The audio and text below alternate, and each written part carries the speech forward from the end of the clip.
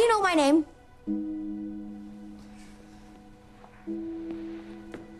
You're Adam Reed, born February 10th, 2010. Your parents are Ellie and Louis Reed. Louis would have died about a year ago.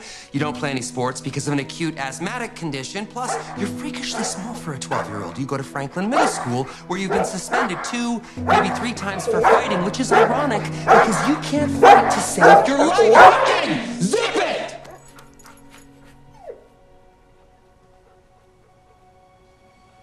How do you know my dog's name?